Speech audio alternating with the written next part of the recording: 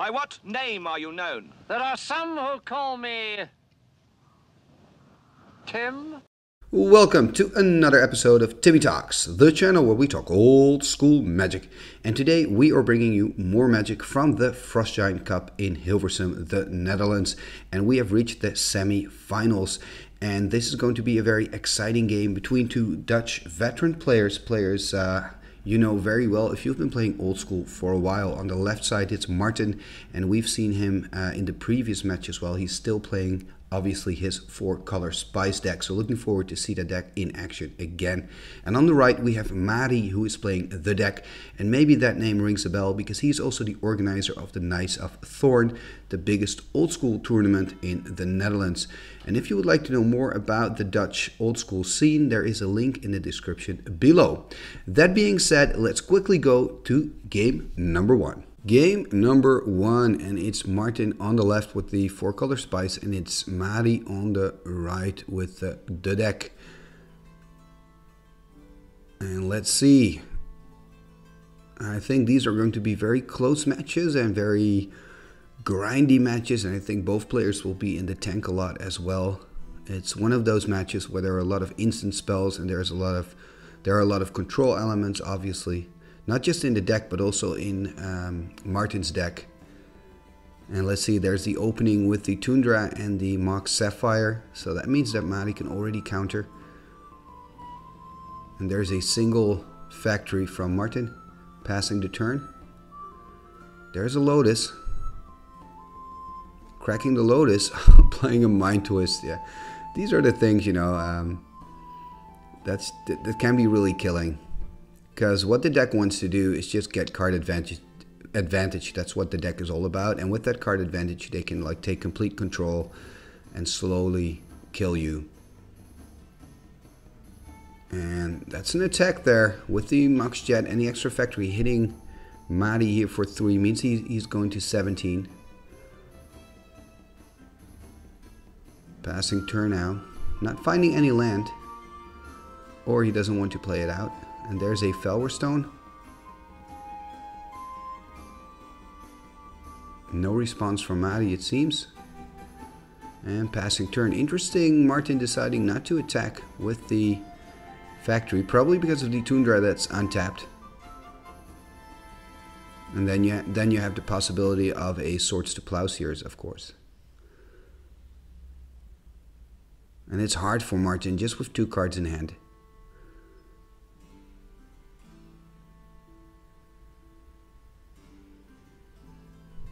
And looking, organizing his cards, playing his second City of Brass, and just passing the turn.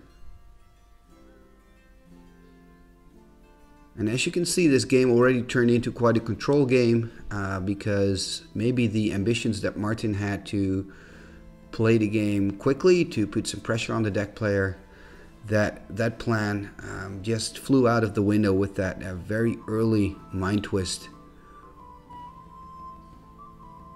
And he's just drawing right now, passing turn. Three cards in hand at the moment, and Mari still with a full grip of cards.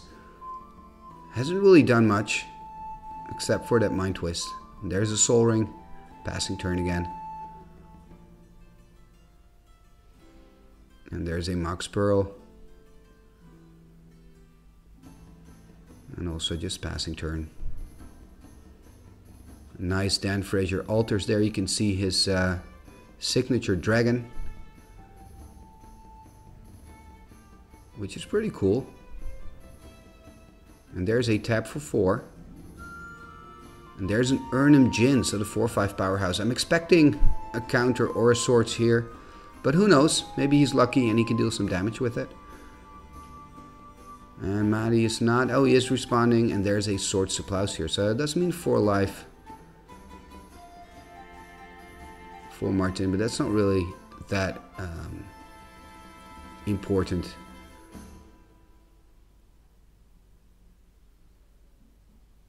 And passing turn again.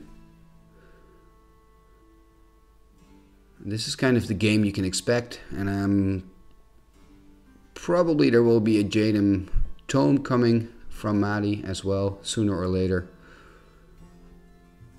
There is a tap for three, it seems. And there's a recall.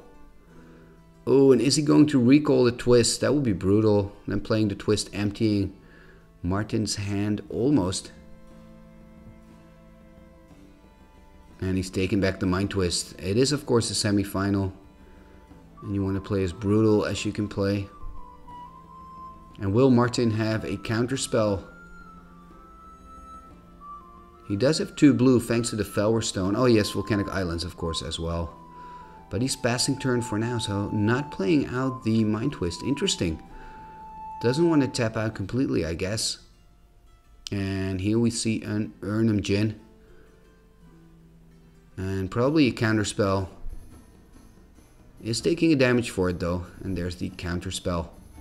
And this is going to be interesting, um, this matchup after sideboarding, since both players uh, play with uh, blue elemental blasts in their sideboard. I wonder if um, Madi is also playing with red elemental blasts. That I do not know. I mean, he could with the City of Brasses, and of sorry, and of course the uh, the Black Lotus.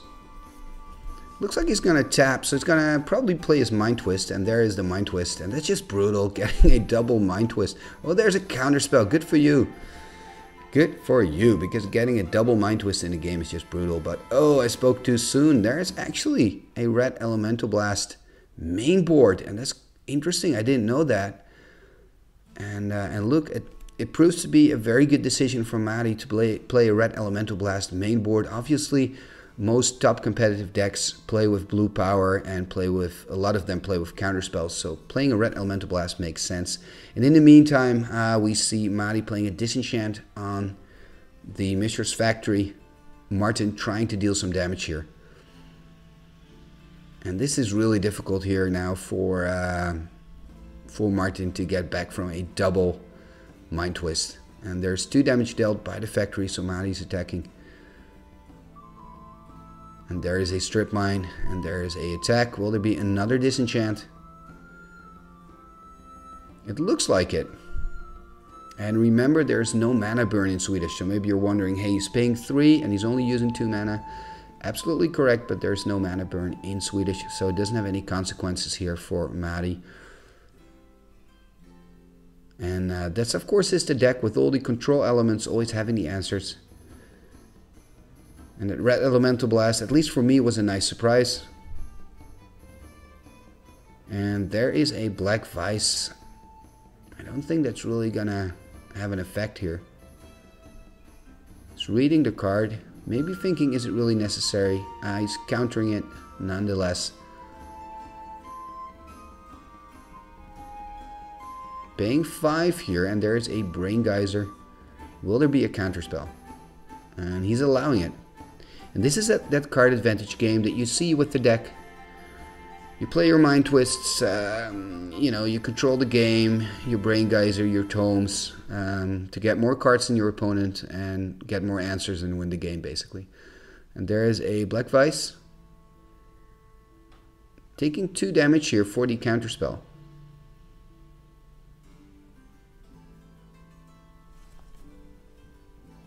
So there is some some concern here uh, that Madi has towards those black vises. Of course, he has a full hand, and that's what he wants to keep for the entire game. So that's probably why.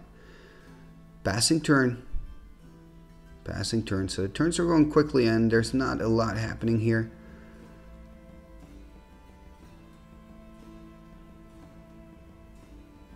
And there is an ancestral recall, so he's drawing three cards Drawing an extra ones, boom, for his turn, of course, so that's card number four. So he's got a full grip of cards again. And in theory, the Black Vises are a great weapon against these kind of kinds of decks because your opponent wants to keep a full hand, and with the Black Vise, you're punishing him for it. Unfortunately, the deck has too many answers in the form of disenchants and counterspells for those um, Black Vises. So they're not really sticking to the table. And paying a white here to animate one of the factories.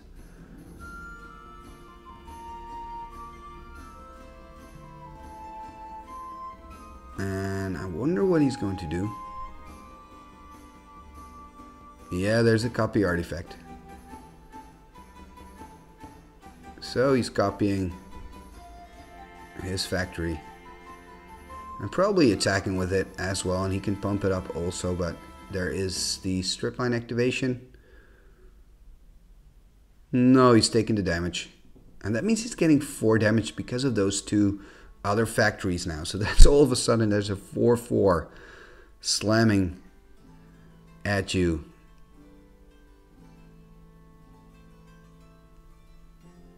And if you haven't seen uh, any other matches of the uh, Frost Giant Cup, I can really um, advise you to have a look at it because there are some pretty cool matches, especially in the in the top eight. Um, round one, we had a crazy matchup with a Eureka deck. Uh, I think it was round four where we saw a Kobold deck uh, crashing into a sort of the Aegis deck. That's really really epic battles and uh, and great fun to watch. And in the meanwhile, we see a, a big factory attack. So all the factory workers are, are going at it. And there is a strip mine on the copy artifact. And there is a shatter on the other factory. But there is a counterspell. And that means 4 damage here for Martin. So he's, he's slowly going down in life totals. And, um, ooh, there's a time walk. Will there be another counterspell? And actually, I don't think... Oh, he does have two blue mana open still. So he can still counter. Chooses not to. And Martin is just drawing another card in passing turn.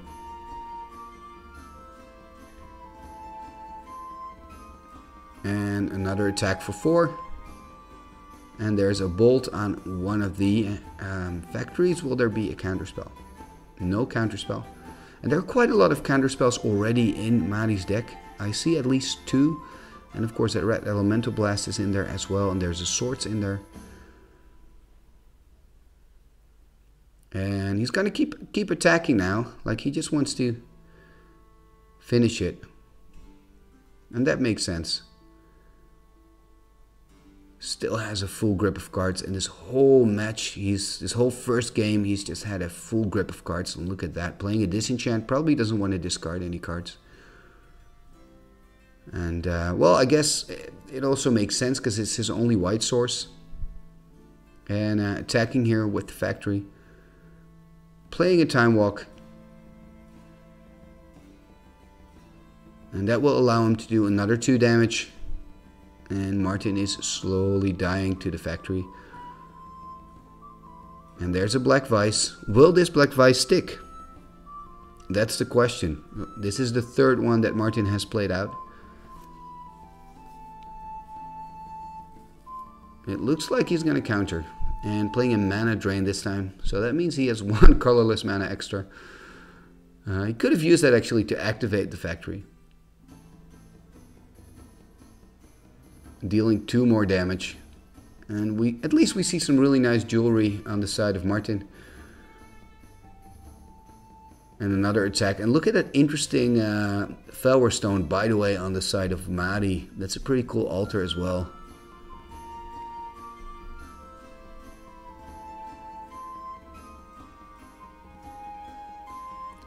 And, oh, there's too much glare. This is unfortunate because I cannot see the card. He puts it in the middle of the table, and I guess we just have to guess what it is. This is pretty annoying. Is it a disenchant? No, it's not white mana. It's not a disenchant. Is it a shatter? Could be a shatter for two. Uh, it looks like it's an um, Hurkyl's Recall. So he's playing a Hurkyl's Recall, so that means that all the artifacts has to go back to his hand. And he's probably doing it at end step, so that means he has to discard some cards. So that's a nice little trick, and e exactly, it is the Hurkyl's Recall. That's pretty cool. It's one of those very diverse cards. And every time I see Hurkyl's Recall being used, I'm like, oh yeah, maybe I should play with it. And there is a tome. So there's a book pretty late in the game. I would have expected it to come out earlier. And of course, Madi is playing his Mishra's Factory again. But we see that Martin has also found a second Mishra's factory. So he's building a little factory um, factory army of his own here. And now we're going to see this. I mean, this is typical for the deck. End of turn, using that tome to draw an extra card. You know, having everything under control and every time toming and taking an extra card. There's an Underground Sea. Tapping two here. Two white. Playing a Chaos Orb. And we're going to see a flip. So I'm just going to put it in slow motion. And let's see if he can hit the factory. Yeah, he's picking a factory. That makes sense. It's really a factory war this game so far. Factories are dealing the damage and all the rest is being countered or swords. Or in this case, actually the factories are being pretty mutilated as well. With the we've seen, uh, we've now seen a chaos orb. There is a block, and will there be? Hey, there's a divine offering. So uh, we've seen shatters, divine offerings, disenchants, uh, swords. Uh, we we haven't really seen. Oh yeah, we saw a strip mine. Uh, but anyway, this is uh, game number one. It's uh, it's going to Mari, the the deck player, and I think now it's going to be really interesting. What are they going to sideboard, and more importantly, what are you going to take out? I always find it very difficult. So um, let's give them some time to sideboard, and then we'll see them in game number two. Game number two. So it's about to begin here, and Martin on the play probably because he can choose, and he has to win this one to stay in this match and uh, and continue to the uh, to the finals of the uh, tournament. Oh, look at that! It's a creepy altar there. Is that the Eye of Sorin? And pretty good opening here from uh, Madi as well with the double Mox. There's a very quick Serendib and or Erhnam, sorry, and answered with a Swords to Plows here. So that means four life for Madi. I wanted to say he cannot counter. Now, he still can't actually. He doesn't have a second blue mana.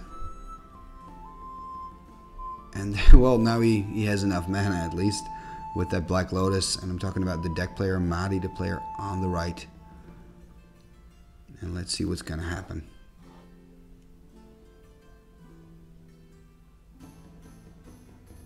Playing a Demonic Tutor, so that means he has one black floating. What is he going to look up? Will it be a Mind Twist, perhaps?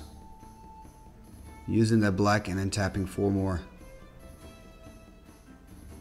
And there is the Mind Twist. Will there be a counter spell? There's a Shatter, and there is a Lightning Bolt, and there is a Recall. And that's interesting. Went very fast, but basically he played out all the instances he could play out, and that meant that the Mind Twist didn't have as much effect. And a Su-Chi on the board. And the deck player Madi was unable to counter it, so that's another attack. There's another Su-Chi, a lot of pressure on the board here, and they could be uh, this can be a big problem here for Madi. Because Martin is really, wow, hitting for 8 now. That means he's going to 5 life. And this is turning into a problem now. Needs to find a solution for those Su-Chis. A dust to dust would be wonderful right now. Attacking, and that's game. Wow, this was really, really, really quick. Uh, that means it's 1 1, and that means we are going to game number 3. Game number 3, the decisive game here 1 1.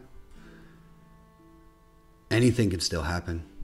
Martin on the left four Color Spice, Madi on the right, the deck. So let's see. And I think, I mean, if Martin can put early pressure on, I can definitely see chances here for him. But look at it start from Madi, playing an Ancestral Recall, drawing three cards. That's not what you want to see uh, when you're playing against him. And there is a quick shatter and I believe he's put some shatters from the sideboard in his deck. We could already see that in really quick game number two. And there's a City of Brass, means that he has counter spell capability online now. Um, but he's actually playing out a card, uh, taking a damage from the city, going to 19, playing a second piece of blue power, a time walk.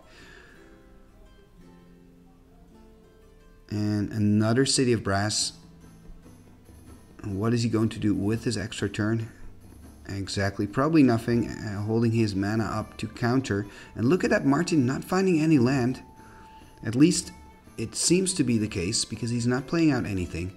And there is Madi building further, extending his mana with a Sol Ring. And there is a Black Vise, and Black Vise can be very powerful against the deck. And Madi is not doing anything against it. And I believe he has 7 enhances. That would mean 3 damage. So he's letting it go, going to 16. And let's see what he can do. Drawing a card. And taking a damage from City of Brass again. Oh, this is brutal. Playing a dust to dust. And this is bad news for Madi. I mean, Martin, this is a very well placed dust to dust. And there's a lightning bolt. Went very quickly. Means that Madi is going to 12. And there's another Tundra. Passing turn here. There's another lightning bolt. And, and I mean, Martin only has one mana, but he's doing a lot of damage. Uh, there's finally his second land. He's found it here. Two volcanic islands on the board. And there is a tome. And that's, of course, what you want as a deck player. And there's another lightning bolt. it's going to six life. And there's a Hurkyl's Recall. That means that Madi has to take back. But he's playing a mana drain. That does mean two more damage. Means Madi is only on four life here. Does have two extra mana now. Not doing anything with it. Interesting. Not activating the tome. Playing a time walk here from Martin. Can he find some more direct damage? Because that's basically what he wants to do right now with, I believe Madi's only on 4 life. But it looks like the deck player has kind of stabilized. And Martin playing a Mishra's Factory and playing another creature, so putting pressure on the board here with the Erhnam. And that's a quick swords here means Martin gains 4 life, is on 24. Tap Sol Ring for 2, playing Fellwar Stone. And can Martin actually win this one? Playing a Su-Chi. Will there be a counterspell? Has 2 mana up. And he's playing a Swords. Pretty much the same thing. Means that Martin's going to 28, but that's not really relevant at the moment with the deck player on just four life. But I mean, the deck is a control deck, so we all know playing against a control deck. Okay, he was only on two life. He was only on three life. That that's not the same as winning. And there is an attack, and there's a strip mine. Interesting, playing a recall, taking back the strip mine. I mean the the factory. So that means that Madi will lose the strip mine, but he's looking at his hand. Is he going to counter? Or maybe play a disenchant or a swords. Tapping one white, no tapping two. What are you gonna do, Madi? And playing a disenchant, so that factory is gone. And of course, I mean, Madi has to because he's only in four life. Playing a plains and drawing a card from the tome. And as long as he can keep his you know his card machine, his card advantage going, he'll find the answers he needs to protect himself. I mean, Martin has played his three lightning bolts already, maybe playing number four in his deck, but he, he's not playing chain lightnings as far as I know. He is playing fi uh, fireball, I believe. I think it's a one-off. I'm not 100% sure. And there, Madi drawing another card. And you can really see him stabilizing now getting more cards in hand, uh, probably finding counter spells. And there's a Diamond Valley by Martin. He's a big Diamond Valley fan. And yeah, drawing another card. And who's going to the finals? 1 1.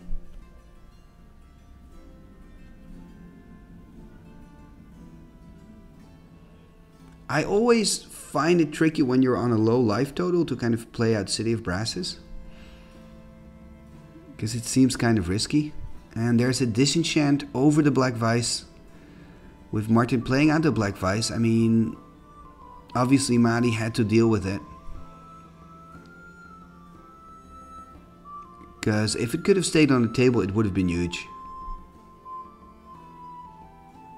And I'm really liking kind of the power that Black Vise can have when you're playing against the deck. Unfortunately, the deck has just too many answers for artifacts, but this idea of punishing your opponent for drawing a lot of cards using the Black Vise for that, I kind of like that instead of only using it in aggro decks. And there's that untap of the big book again.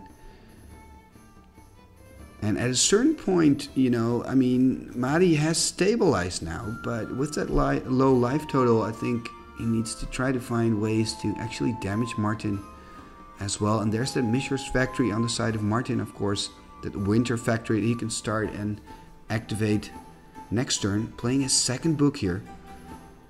I'm pretty sure Madi has a disenchant or swords in hand, attacking now with that winter factory and we see a tap here. Is it going to be a swords? And there's a swords and there's that Diamond Valley trick. So what Martin is doing is saying I'm going to sack it to the Diamond Valley because then I also gain life and it's going to the graveyard and it's not removed from the game. So that's a nice little trick.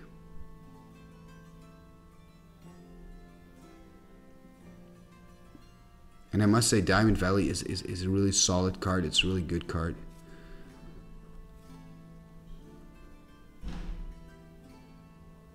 Because life basically buys you time. So if you can gain some more life, in a lot of cases it buys you a couple of extra turns. And let's see what the the deck player, what Madi is going to do now. There's that underground sea that he's kind of moving or not moving. So that's kind of indicating a demonic tutor perhaps. But choosing to draw a card first it is difficult because it looks like he has a lot of mana, but remember those City of Brasses hurt Madi and he's on a very life, a low life total, so he doesn't want to use his City of Brass anymore. And playing a Chaos Orb, probably going to use it. I was going to use it on the Diamond Valley. Interesting. I wanted to say on the Mishra's Factory. Using it on the Diamond Valley and we couldn't really see it flip, but I assume it flipped fully, and that's a hit. So Diamond Valley is a goner. And he's probably has an answer for Mishra's Factory, or else he would have or that one, I think. Actually, he doesn't. Interesting. And um, I see that he's on 3 now, so that means I made a little miscalculation somewhere. Doesn't really matter that much. He's on 3 life. And he's drawing an extra card now with the tome.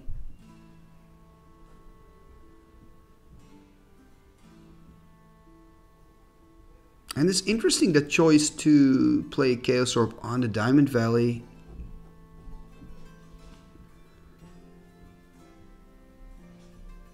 Obviously, the Diamond Valley, a very strong and annoying card to play against.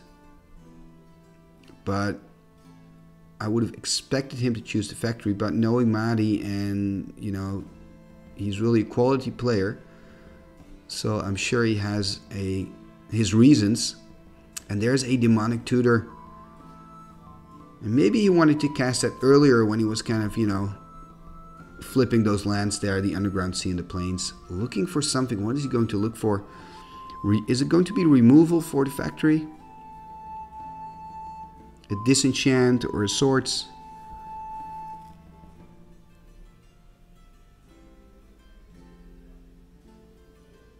It's going to be interesting. And he's playing a Black Lotus. Cracking the Lotus. Oh, interesting. Playing a moat. Okay, that's of course a way as well. And that kind of sticks because you're playing against an opponent who's not playing with white. So that means he has no access to disenchants. Maybe to Tranquility because he does have green. But uh, the moat is working for now, keeping that Mishra's factory at bay. And you can kind of see that the deck player is feeling really cozy right now. The only problem that Madi has is his life total, which which is pretty big, I guess, because if you're at zero, you lose. But He has he has his card advantage, his drawing machine. He has his moat, so he's really nice behind his drawbridge. And he's just drawing tons of cards. He has all the mana he needs. He can counter still. The only problem he, ha he has is his life total. I mean, you see Martin now just passing turn. And the thing is, he's now on three, so maybe what Martin wants to do is kind of set something up, like play two burn spells in a row to, to finish Madi off. But I'm sure Madi knows that as well. I mean, Martin, by the way, is, I believe, on 31 right now. So the, the, he's not dead yet. And what can Marty do?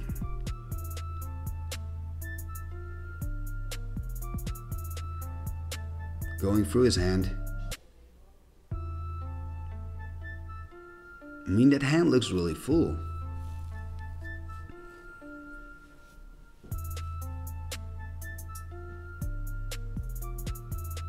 Tapping for drawing here. Tapping another, drawing his second card. Making his full hand even fuller.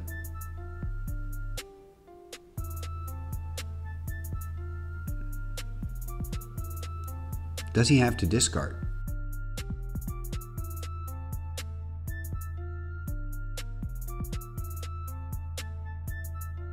And yeah, he has to discard. Discarding a tome. And also discarding a red elemental blast. Interesting, because you would think that you maybe you want to use those against counter spells. Tapping the trop, and there's the ancestral recall.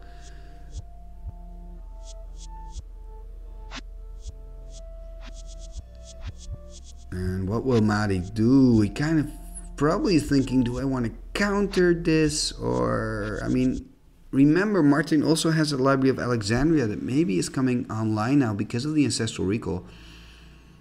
Playing a Lightning Bolt. Is this the end of the game? There is a counterspell. There's a Red Elemental Blast on that counterspell. There's another counterspell. And that's it. Okay, so Maddie's safe.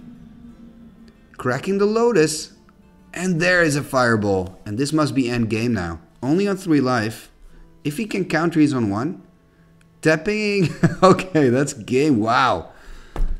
Okay, so the four color spice deck is advancing thanks to Red Burn. Okay, well, very exciting third game here from a uh, tactical point of view, from a control game point of view, I guess you can say. Uh, for now, thank you for watching the semifinals of the Frost Giant Cup. And uh, the next update will be the finals of the Frost Giant Cup. And in that finals, we will have Martin playing with his four color spice deck against Carl from Belgium playing with the deck. For now, thank you for watching. And if you'd like to see more old school magic, you can check out the videos that are appearing on the screen right now. And if you would like to support me and my channel, Please subscribe if you haven't done so already. That helps a lot. Leave a thumbs up, leave a comment, spread the word, and just tell me what you think of these games. For now, thank you for watching and see you next time.